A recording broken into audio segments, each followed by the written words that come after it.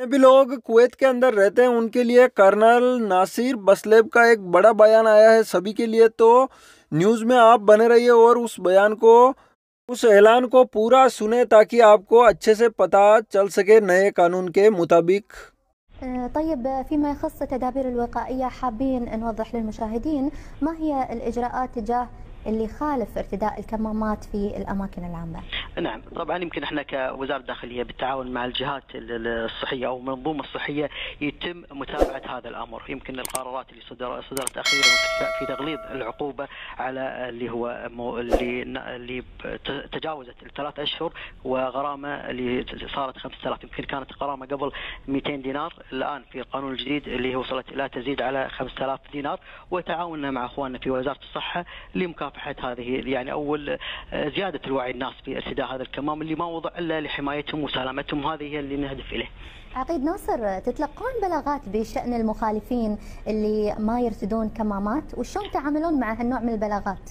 آه، نعم يمكن احنا كوزاره الداخليه من عن طريق آه، غرفه العمليات 112 كثير من البلاغات اللي يتم الوصول اليها ويتم التنسيق كذلك مع اخواننا في وزاره الصحه، يعني احنا يمكن في المجمعات يعني نشوف يعني التتبع من حتى اخواننا في شرطه البيئه متواجدين واخواننا في رجال الامن متواجدين कि आपने इस न्यूज़ में देखा होगा कि जो फेस मास्क नहीं लगाएंगे उनको तीन महीने की जेल हो सकती है या फिर हज़ार केडी तक फाइन लगाया जा सकता है। कुवैत के अंदर लगातार सब्सिडी का सामान इधर उधर भेजा जा रहा है, कहीं पे बाहर भी जा रहा है कुवैत से। इसको देखते हुए इक्यावन अकाउंटेंट, जो कि पूरे कुवैत के अंदर इक्यावन अकाउंटेंट को आगे पूछताछ के लिए भेजा गया कि ये सामान बाहर बिक्री होके कैसे जा रहा है। हर एक नई न्यूज़ के लिए चैनल को सब्सक्राइब ज़रूर करें।